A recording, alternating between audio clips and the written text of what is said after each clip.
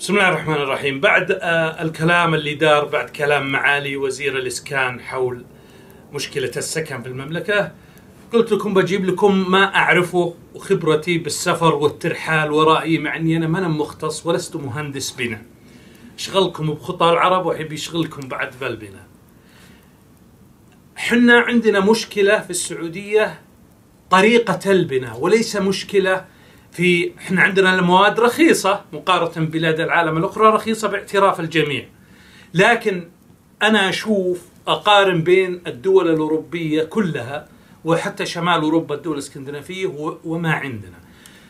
اللي يشوفه ان عندنا يبالغون مبالغة شديدة جدا جدا وليس لها داعي في الصبات وفي الحديد وفي بناء القواعد وفي بناء الأعمدة وفي الميدات.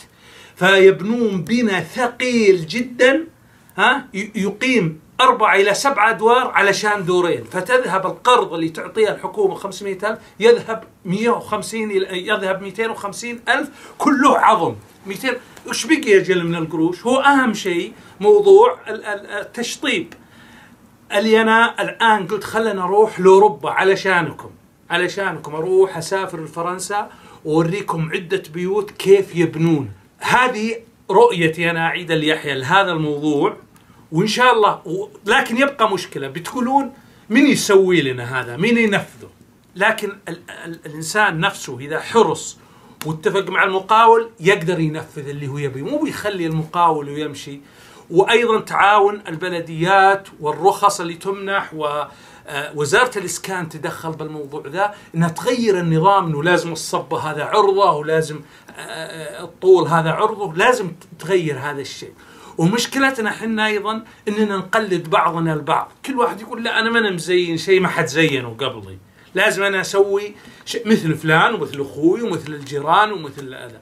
اذا المسألة ما رايح تنتهي. يعني ثقل كثير وكبر كثير بالبيت وميدات وصبات وأشياء ما لها داعي الآن بروح أوريكم بيوت هنا تبنى عندنا بالسعودية نموذج وأنتم تعرفونه لكن اللي ما تعرفونه هو اللي أنا بروح له في فرنسا ونشوفه لعله يطبق إن شاء الله على شوي شوي لأنه مشكلة كل شخص ما يبغى يقوم بالمبادرة لنفسه. إحنا في نأخذ من الغرب كل أنواع التقنية، اخذنا منهم كل شيء إلا طريقة البناء. إحنا عندنا كثرة الصبات. يعني البيت تجده يعني شوفوا عرض الصبة هذه، شوفوا شوفوا كمية الحديد يعني حوالي نص متر. كلها صبات، كل الدنيا عبارة عن صبات واسمنت ووزن هائل على على بيت ما يتجاوز دورين. زي ما تشوفون البيت ما يتجاوز دورين لكن كله كله صبات. يعني القرض اللي ياخذونه المواطنين 500 ألف يروح منها 250 ألف أو أكثر صبات وحديد. حنا في منطقة ما فيها والله الحمد زلازل. يعني ما فيها زلازل. ليش هذه الصبات الضخمة؟ هذه لو أن البيت بيطلع عليه خمسة أدوار. حتى السور الخارجي شوفوا الصبة شوفوا الصبة ثم الصبات الهائلة ذي. ثم صبة فوق. كلها على مسافة بسيطة. شوفوا الصبة هذه ما بينها وبين الصبة ذي متر. إذا الطريقة الصحيحة هي الاستغناء عن كثير من هذه الصبات والحديد الهائل الذي يوضع ويوفر من المبلغ مبلغ 500 ألف. يوفر يعني نبي نخلي البيت يكلف 150 ألف. شوفوا البيت هذا مسطح البناء 250 متر يقول راعيه مكلف بوم صبات 250 ألف. 250 ألف. ليش يا أخي؟ بالأخير هو بيت دورين. بيت دورين صغير. آه شوفوا الحوش شلون صغره. يعني البي الحوش ما يتجاوز آه طول خمسة أمتار بستة بأربع أمتار. كلف 250 بس صبات بس صبات واسمنت وحديد. اذا هذا لا أرى له أي داعي ابدا وإنما هو جانا هالطريقة ذي جتنا من آه بعض المهندسين العرب. نقول يا وزارة الأسكان والبلديات اسمحوا بنمط. للبناء زي ما هو بألمانيا وفرنسا وبريطانيا والدول الإسكندنافية مع إن عندهم طقس بارد وعندهم هواء شديد وعواصف وأمطار شبه مستمرة. ولا يحطون مسافات. ما يحطون مسافات بين البلك. كله يضربونه من الاسمنت فما في ما في تمدد. عملية التمدد غير موجودة. فلا بد أن البلدية وزارة الإسكان تغير هذا النمط. تغير النمط بما أن البيت ما يكلف ثمانين ألف بل كثير. بنا يعني غير تشطيب. هذا هو المفروض. ويصير جاهز الفلوس الباقية من المواطن اللي يعطي له تصير تحط في التشطيب الفخم. يحط فيه كنبات يحط فيه مكيفات. إذا يمكن بعد يوفر شيء من الخمسمية ألف. أنا ما أنا بنا لكن أنا أجيب لكم شيء على أرض الواقع وحل على أرض الواقع كما هو مطبق بالدول آه، الأوروبية. كم ملي هنا الأصياخ عندنا؟ كم ملي هذا الصيخ؟ هذا عمود ركبكم 16 16 16 ملي. يقول لك 16 ملي المهندس. 16 ملي. إحنا بنطلع 20 دور فوق. هناك زي ما نبي نشوف في فرنسا ما يتجاوز 3 ملي الصيخ. وبتشوفونه هناك. درجة الصب الرهفة اللي تفصل على الدور الثاني عن الدور الأول. طبعا الجدار زي ما تشوفون ما في صبات. ندخل البيت. صبة بس تحتية. هذه. جدران ما في صبات. صبة فوق الدريشة الحامل حق الدريشة. ندخل تشوفون إيه شوفوا شلون. هذه عرض اللي يحطون أربعة أصياخ صغار. أربعة أصياخ. صغيرة ما تجي شبر. نظر يدي أكبر. نافذ شفتوا شلون؟ هذه اللي تحط هنا. هذه اللي تحط بالعازل بين الدور الأول والدور الثاني. ما في قوائم. طبعا أنا ما فهمت ذي وش الدريشة ذي اللي ألمنيوم وفيها قرميد أحمر لاف يعني قوسي ما أدري. أنتم يا أهل البنا يمكن تعرفون. شوف صبة صغيرة على الدريشة شفتوا شلون؟ لا حد يتفلسف علي بلك وهم زي من بلك هنا ومد... بلك بلك عادية يا أخي. إيه. بلك بعد خفيفة شوفوا. كلها مجوفة. بلك عادية والله إنها عادية شكله اضربها بالارض تفرح نفس الشيء. ما في اسمنت كثير بين الفتحات. عادي يعني مرة. الشيء الوحيد اللي أنا لاحظته إن الجدار مستقيم زي الأنتل. شوفوا يعني ما تشوف فيه زي الملي. هذا مو بصعب كلكم تقدرون تسوون زي كذا ما في صبات الأرضية بس مصبوبة. زي ما قلنا يحطون صبة خفيفة هذه الصبة أربعة أصياخ ما تيجي اثنين ملي. صبة خفيفة على طرف الجدار. هذا الباب الداخلي. صبة فوقه. تشوفوا موصلين الصبة ذي بذي. ها الموصلة لكن والله انه اقوى شلون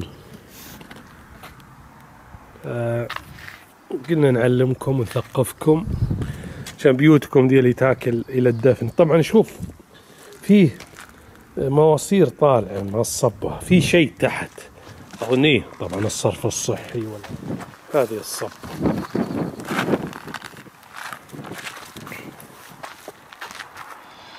شوفوا شلون يبنون. هذا فلة شوف شلون القرميد يحط على الخشب.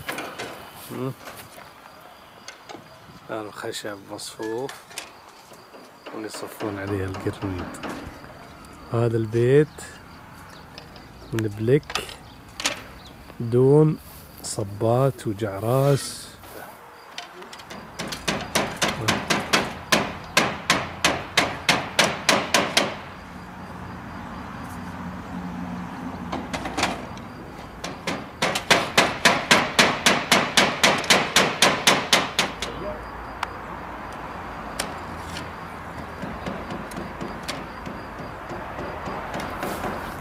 شوف شلون؟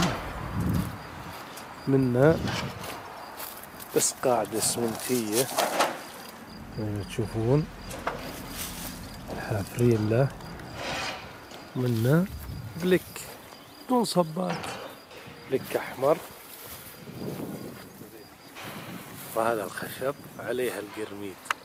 هذه الصبة الأرضية قاعدة بالأرض لأنهم حاطين آه، خلوة.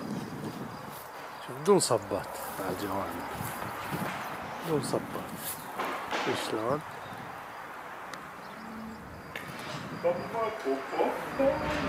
آه. هذا الدور. خشب. هم يحط عازل أبيض شوفوه. عازل صبة خفيفة بس فوق ال- الدريشة. ما أدري شو اللي يحطون ذا. أي هذه هذه ستارة تنزل. أرضية صبة تحت الحين الجدران تشوفهم بدون أعمدة. ولا يكثرون السمنت ناظروا. ما في اسمنت بين الفتحات.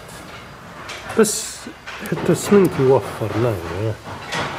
ناظروا تحت ما في اسمنت جوانب ما في ها ما في اسمنت شوف شوفوا أنتم تشوفون اسمنت ما في ها هنا عمود. شوفوا صغره شوفوا صغر العمود هنا يجي شبر. صبه بصيخين شبر. بعد أصغر من الشبر.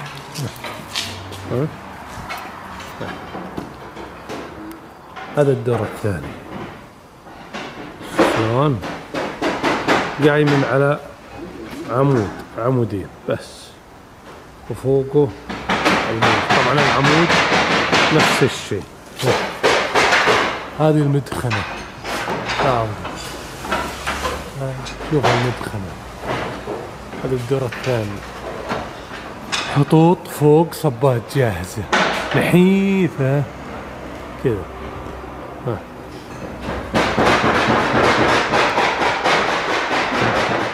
نفس الشيء هذا.